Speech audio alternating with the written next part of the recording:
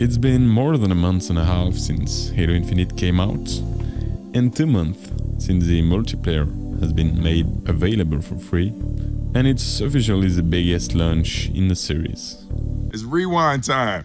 Since Halo came out 20 years ago, more than 80 million copies have been sold, and Halo has become one of the biggest game franchise ever. Halo Combat Evolved helped launch the original Xbox, and half of the original Xbox players bought Halo 1 at the time.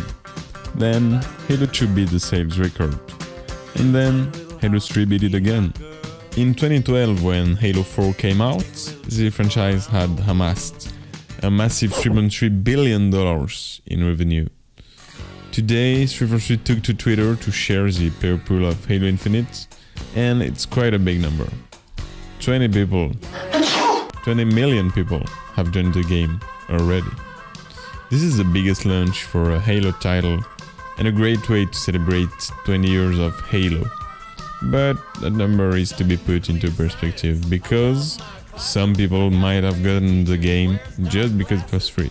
Still, the $4 billion grossed over the years make Master Chief one of the richest people on Earth. The future's so bright.